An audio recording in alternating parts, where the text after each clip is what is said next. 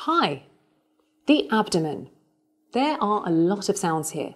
The doctor needs to hear them if something is going on.